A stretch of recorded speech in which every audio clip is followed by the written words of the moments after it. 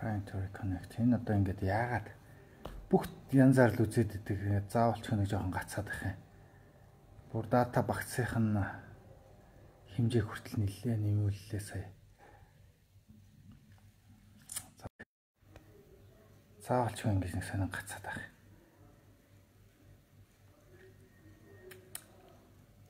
Гайг багш гэн тэ. Өдөөнд өглөө нэмэнд өглөө нэмэнд за би одоо чадах бүх аюугаар л яла одоо нөө Wi-Fi-г нэмэгдүүллээ тэр дата багцыг бас нэмэгдүүллээ тэгээд жоохон гацаад болдгоо. Энэ одоо юунаас юм итгэхгүй.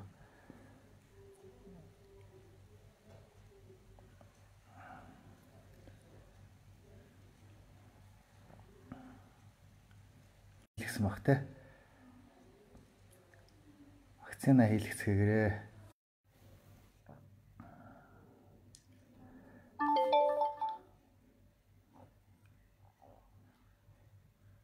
Харин намайг лайв хийхээр л ингээ гацаад их. Бусад үе зүгээр байгаад идэг. Кама кама өглөөний мэнд Эрдэнэ болдош өглөөний мэнд Пүрвсүрэн лав жаргалаа өглөөний мэнд Батбаатар давга өглөөний мэнд гацаад байна уучлаарай одоо тэгээд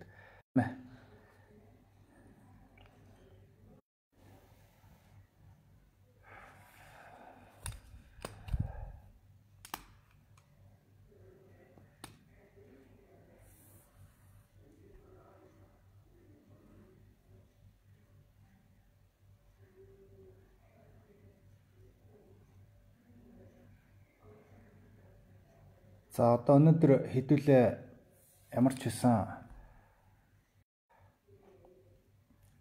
өөрсдийнхөө холбогдох үндэсний аудитор үндэсний аудитор нэгэнтээ давсан нэр дэвшигч нар нь өөрсдийнхөө материалыг сонгуулийн хооронд өгсөн байж байгаа. Та бид нар мэдж байгаа. За одоохон хараханда шийдвэр нь бол мэдээж гараагүй байж байгаа. Хорийн үед дэвшигч нарын мандатыг өгдөг.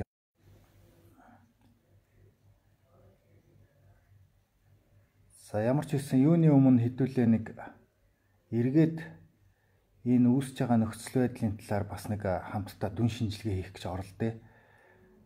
За та бид нар арай мартаагүй байгаа. Нэг 3 санд Монгол улсын ерөнхийлөгчийн сонгуул болж исэн. 2009 оны сонгуулиар та бүхэн санаж байгаа энх хоёр элбэгдөрч гэсэн хоёр өрсөлдөгч нэр дэвшижсэн. Инх хоёрын тал нь одоо ирэх барьжсэн нам тал нь одоо өнөөдрийн ман нам. Тэр намаас одоо улсын хурлын дарга гэдэг эрх мэдэл дээрээс намрын их хоёр гэдэг хүн ерөнхийлөгчд нэр дэвшижсэн.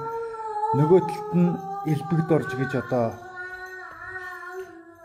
ямарваа нэгэн эрх мэдлгүй а гэхдээ олонд танигдсан 2009 оны сонгуул дээр ерөнхийдөө дүгнэлт хийх юм бол нөгөө эрх барьжсэн нам маань харьцангуй тийм нөгөө өрсөлдөгчөө захиалах гэдэг юм уу сул өрсөлдөгч өөртөө хүсэж одоо уучраа бөхөөрөө тавьдаг тийм хэлбэр гэсэн та бүхэн санаж байгаа. А инх хоёр инх хоёр гэдэг хүний талд нь нөгөө олонхын засаглал нөгөө парламент засгийн газар нь байсан. Гэлээ эдэж инх хоёр гэдэг хүн а 2009 онд ялагдж ирсэн. А энэ 2009 онд ялагдахтаа мэдээж ирнэ. Инх хоёр ч 2005 онд ялцсан байсан улсын хурлын дараагаас 5 онд 9 онд дахиад хоёр дахь удаага ерөнхийлөгчд үзэж байхдаа харьцангуй өөртөө нь харьцуулахад бол огт эрх мэдлгүй элбэгдөрж гэдэг хүнтэй өрсөлдөөд унжсэн. Гэхдээ элбэгдөрж гэдэг хүн бол өөрөө бас нэр дэвшиж хахад ямарваа нэгэн хориг тэг одоо янз бүрийн өрсөлдөгчөө 2013 оны сонгуулийг одоо эргээ санах юм бол ерөнхийлөгч хийж исэн 9 онд сонгогдсон байсан элбэгдөрж ерөнхийлөгч Бадмааны мөгийн Батэрдэнэ гэж одоо тэр үед улсын хурлын гишүүн манай үндэсний бүхэн авраг. За тэгээд Монгол Ардын хувьсгалт намаас удуул гэж юмхтэй бол хийжээсэн. За тэр үед бүгд Илбэгдөрж гэдэг одоо ерөнхийлөгчийг дахиад ерөнхийлөгч болохын тулд өөртөө уучраа бүхүүдээ захиалж өөрийнхөө одоо өрсөлдөгч нарыг одоо магадгүй өөрийн ялах эрсдэлтэй том өрсөлдөгч нарөө бүгдийг тодорхой хэмжээнд нэр дэвших эрхгүй болгож одоо тухайлбал инх баяргааг тэр шорон оронд хийж за тэр баяр гэдгийг санжийн баяр оруулж ирэхээргүй нөхцөл байдлыг хангаж эргэн тойрных нь бүх хүмүүстээ эрүү үүсгэж сонгуульд нэр дэвших эрхтэй байсан боломжийг бүрэн хааж ингэж байж одоо өөртөө тааламжтай сулвтар хүмүүсийг өрсөлдөгчөөрөө тавьж ээж 13 онд элбэгдорж ерөнхийлөгч маань хоёр дахь ерөнхийлөгч болж исэн. А болохдоо дөнгөж одоо нөгөө 50 дээр нэмэх 1% босго гэдэг имийг одоо арай чадан ядан давж та бид бас мартаагүй байгаах. За 2017 оны сонгуул яг одоо 13 оноос эхлээд ийм өөртөө өрсөлдөгчөө захиалж өөртөө их сул өрсөлдөгч бодлогоор бэлдэж оролцуулдаг ийм аргачлал бол хоёр нөгөө талаа эсэргүүцэж ярьж тэмцэж гарч ирсэн оюун эрдэнэ талынхан бүгд л ярьж исэн. Мигон биенх бол гэдэг өөрсдийнх нь намын дарга нь 17 онд өрсөлдөгчөөрөө Бат тулгыг Ганбаатрыг гэж одоо захиалж тэр захиалга маань үндсэндээ нураад нөгөө ялагдах ёстой захиалганд орж ирсэн Бат тулг нь ялж гарч ирж байсан. Та бид нар санаж байгаа өнөөдрийн ерөнхийлөгч. За үндсэн хуулийн нэмэлт өөрчлөлтийн дагуу Бат тулг гэдэг хүн бол одоо дахиж нэр дэвших хэрэггүй гэдэг ийм нөхцөл байдлыг бол үндсэн хуулийн цэцээр парламентаа барьсан ийм байр суурин дээрээс өнөөдөр Монгол ардын намаас хүрэлсүх за арчилсан намаас олонний яриа байх бүх л боломж бололцоо хангагдсан байгаа. Одоо тэр өөрт нь одоо Монгол ардын намын даргад унж их илүү тааламжтай ухраа бүхэн буюу эс эрднэ гэдэг одоо арчилсан намын хүнийг захиалж гаргаж ирлээ гэдэг энэ бол үндсэндээ бас одоо ингээд цаг үйл нөхцөл байдлаар бол хүн электорат эвсэл энэ эвслээс бол инх бат гэж одоо урд өмнө улсын их хурлын гишүүн бие даагчаар байсан. За бас нэлээд юм оюунлаг Монголын бас том сэхэтний нэг төлөөлөл орж ирсэн байгаа. За тэгэхээр одоо энэ өнгөрсөн 9 он 13 17 21 оны сонгуулийн ерөнхий дүр төрхөөр эрх барьжсэн тал нь одоо одоо эрх барьжсэн тал нь уучраа бөхөө захиалдгүйгээр ялагдаж болж исэн бол 13 оноос нөгөө ерөнхийлөгчөөс дахиад ерөнхийлөгчөө хоёр дахь их гэж байгаа элбэг дөрж байгаа цаг үеэс эхлээд уучраа бөхөө захиалдаг, өрсөлдөгчөө захиалдаг аа магадлалшгүй рейтинг өндөртэй өрсөлдөгч бол 13 онд хэрэгжээд 17 онд дахиж энэ 21 онд дахиад хэрэгжиж байгаа ийм нөхцөл байдал харагдаж байна. Энэ бол одоо үнэхээр хууль бус үндсэн хуулийг сонгох сонгохдох эрх энэ бүхэл зүйлийг одоо маш бүдүүлгээр зөрчиж байгаа ийм нөхцөл байдал үйл явц бидний нүдэн дээр ил тод харагдаж байна. Хэлбэрлэл нь арчсан нам өөртөө дотроо уучраа олохгүй ингээд уучраа хоорондоо уучраа олохгүй муудалцах нөхцөл байдлын бүрэн хангаж өгөөд нэгдэлт нь өрсөлдөгч талд нь ингээ хооронд нь яс хаяад дэмжлэг үзүүлээд ингээд хууль эрх зүйн талаас нь дэмжиж өгөхөөр энэ нөгөө тал хоёр тал маань ингээд ямар ч эвлэршгүй муудалц одоо бүрэн өгөгдөд дуусах байсан материалууд маань өнөөдөр ингээд аа Алтан уяг гэж нөгөө арчсан намын нэр дэвшигчийг бүртгээгүйгээс одоо арчсан намын ийм шудраг бус нөхцөл байдалтай бид нар тулаад ороод ирлээ. Ийм шудраг бус их тэгш бус өрсөлдөөнийг бид ингээ нүдэн дээр хараад ингээ өнгөрөөх үгээд. За энэ ингээд хизээ хаанаас эхлэв гэдэг би ерөнхийд нь хэллээ. 13 оноос эхлээд ингээд захиалахтай өөртөө тааламжтай хүнээ захиалж ингээд сонгуул хийдэг хип маяг бид нар ингээд гурван сонгуул үзэх гэж байна. Ард олон нийт нам талд байх үүрэгтэй энэ Батулга ерөнхийлөгч маань бол өнгөрсөн 6 сарын 20 одоо энэ 20 оны 6 сарын улсын хурлын сонгуул дээр элтэд Монгол Ардын намд үйлчилж Монгол Ардын намын зөндөө олон булхаа сонгуультай холбоотой нөхцөл байдлуудыг өөрийнхөө тэд нийцэхгүй өөрт нь таалагдахгүй байгаа өөрийнх нь үгэнд орохгүй байгаа арчсан намынхныхаа дарах бараг зорилгоор арчсан намынхаа эсрэг ардын намд үйлчилсэн гэж өөрийнх нь намын гişүүд хүртэл ярьж байгаа. Энэ бол бас үнний ортой. Сонгуулаар ямар их бол огт байхгүй орцыг байшин дээр нэмээд шинээр сонгуул өгч өгдөг хүмүүс бий болцсон байсан. Байшин дээр давхруудыг нэмээд оршин суугч нар нэмэгдээд ийм хэмжээнд сонгуул өгдөг болцсон байсан. Дүн мэдээллүүдийг мэдсээр байж Баттулга ерөнхийлөгч эрх барьж байгаагаас бусад намууд бие даагч нарын талд бол шудраг үнний төлөө Баттулга ерөнхийлөгч бол гараагүй. Энэ бол өөрийнх нь асар том уучлалшгүй алдаа. Энэ алдаа нь эргээд үүлийн үр гэдэгтэй адилхан өнөөдөр яг өөр дээрэн давтагтаад явж байгаа. Нөхцөл байдлын золиос нь боломгцоо гівгэнт одоо шудраг осыг ярьж эхэлж байгаа нь олон нийтэд бас нэгтэлтэй таалагдахгүй байгаамаа. Батулга ерөнхийлөгчээ. Тийм болохоор энэ цааш цаашдаа ч гэсэн энэ удирдагч нар энэ нөхцөл байдлыг тооцооч. Өнөөдөр хөрс өх Монгол Ардын намын үнэмлэхөө олонхын дарга хөрс өх таач таач гэсэн бас яг энэ дээр адилхан яг ийм нөхцөл байдлыг амсах тийм юм бол маш хурдцтайгаар явж байгааг бид нар бүгдээрээ харж байна. Ердөө 6 сард сонгуулаар танаа намд үйлчилжсэн ерөнхийлөгч чинь хагас жил хүрэхгүй дараа өөрөө энэ тодолцооныхоо золиос болцсон байж байна. За өнөөдөр арчилсан нам маань хоёр хуваагдсан. Ардын нам нь бол хуваагдааг юм шиг чанартай боловч үнийн хэрэг дээр хөрс үхийгээ дээшээж бай, доошоо төлөх суудлынхаа төлөх иргэний дайн дэгтгэхэд бэлэм ийм нөхцөл байдалтай байж байгаа. Тэгээ ийм нөхцөл байдал дээрээс бид нэр сөрөг хүч нэг намын тогтолцоо, нэг хүн нэг хүнийг тойрон хүрээлгэсний ийм тоталитар гэдэг энэ тогтолцоо руу орох ийм эрсдлээс сэргийлж өнөөдөр бол энэ бидний эргэн тойронд болж байгаа үйл явцуд бол гарцаа бахгүй улс төрийн намууд бодит баталгаа. Тийм болохоор бид нар яаралтайгаар энэ улс төрийн намуудыг бүгдийн татан буулгаж шин бүртгэлжүүлэлтийг шин шаардлагаар хийж эргэтгэж зүв гараанаас эхэлж энэ одоо Монгол ардын намынхны одоо энэ эрх мэдэлд байгаа хүмүүсийн хэлэх дуртай болчаа. Ерөнхий сайдан ч байна уу, их хурлын дарган ч байна уу, а Монгол ардын намын дарган ч байна уу, дандаа зөв гоё сайхан үг хэлчихэд хэрэг дээр хэрэгжүүлж байгаа нь яг эсэргээрээ хэрэгжүүлдэг. Тийм болохоор яг өөрсдийнх нь сайхан хэлдэг үг шиг бид нар өнөөдөр хүний засаглал биш.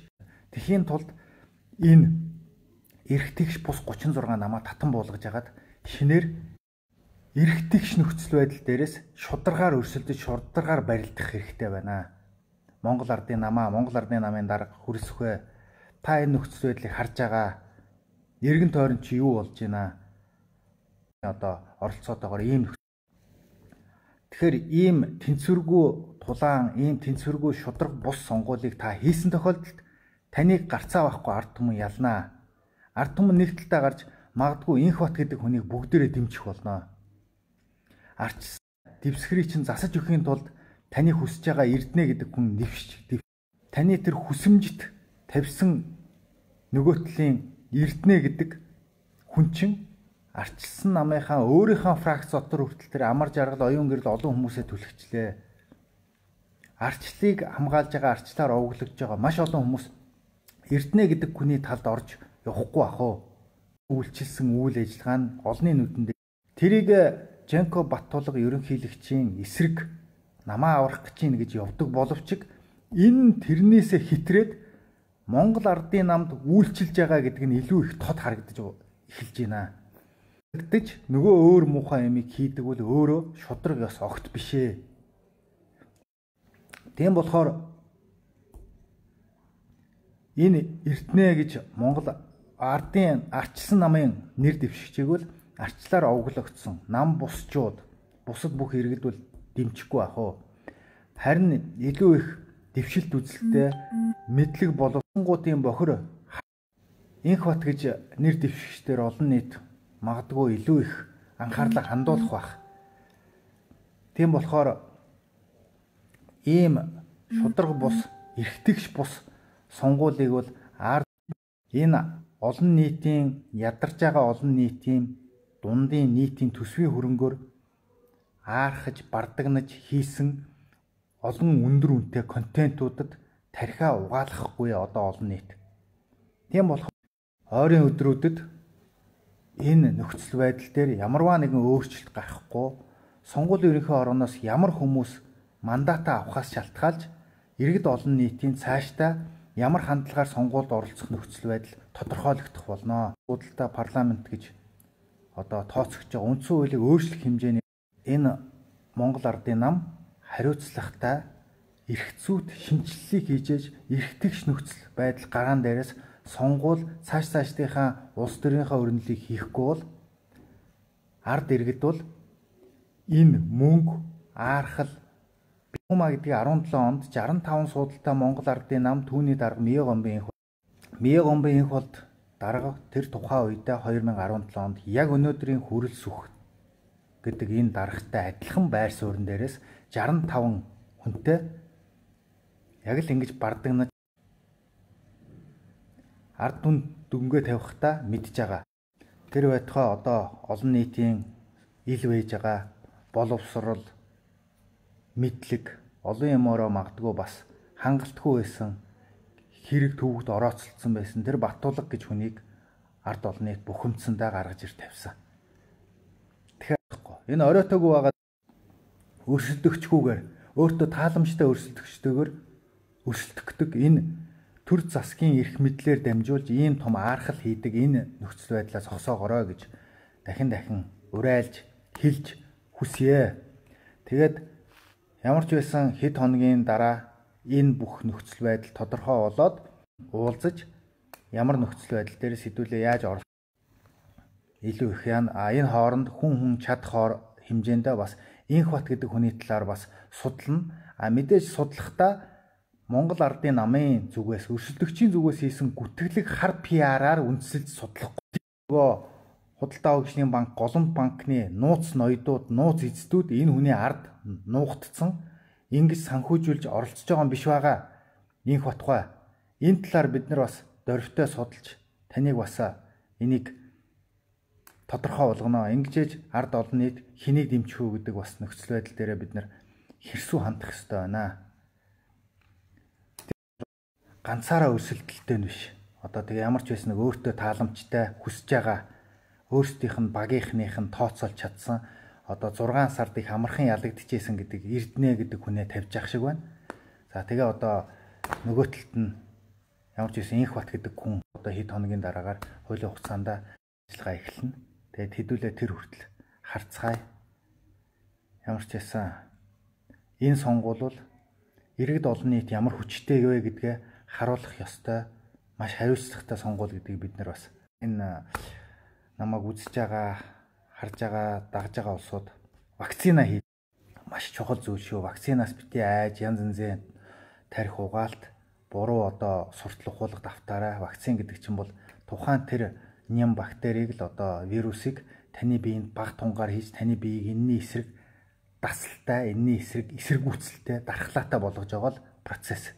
Тийм болохоор энэ дээр ухаалаг хандаад тэгээд ийм нөхцөл байдал дээр одоо илүү их одоо орчин цагийн шинжлэх ухаанч оюунлаг сохор сүсэг бишрэлтэй хоосон тийм одоо харанхуу хар шинжлэх ухааны тийм шинжлэх ухаан биш шинжлэх ухаанч бус талаас нь битээ хандаараа тийм болохоор бүгдээрээ вакцина маш сайн хийлгээрээ вакцин хийлгэснээрээ бид нар илүү их одоо дархлаатай дархлаагаа сайн болгож илүү их одоо энэ өөрсдийнхөө амьдралд сайн сайхны бүтээхийн төлөө тэмцэх, хэвлэлдэн нэгдэх маш олон үүд хаалгууд нээгдэх болно. Тийм болохоор хэдүүлээ энэ ойрын өдрүүдэд энэ нөхцөл байдал яаж өрнөх вэ харж агаад хэдүүлээ дахиад энэ цаг үеийн нөхцөл байдлууд дээр анализ хий. Одоо энэ хронолог гэж нэрлэдэг.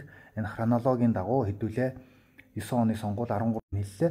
За тэгэхээр энэ 21 оны сонгуулийн хэдүүлээ дүн шинжилгээ хийж хагаад байдлаар хэнийг дэмжих вэ? Яах вэ гэдгээ хэдүүлээ илүү их бас дахиад хоорондоо санал бодлоо солилцож дүн шинжилгээ хийх болно. За баярлалаа. Бүгдөөрэнд нь амжилт.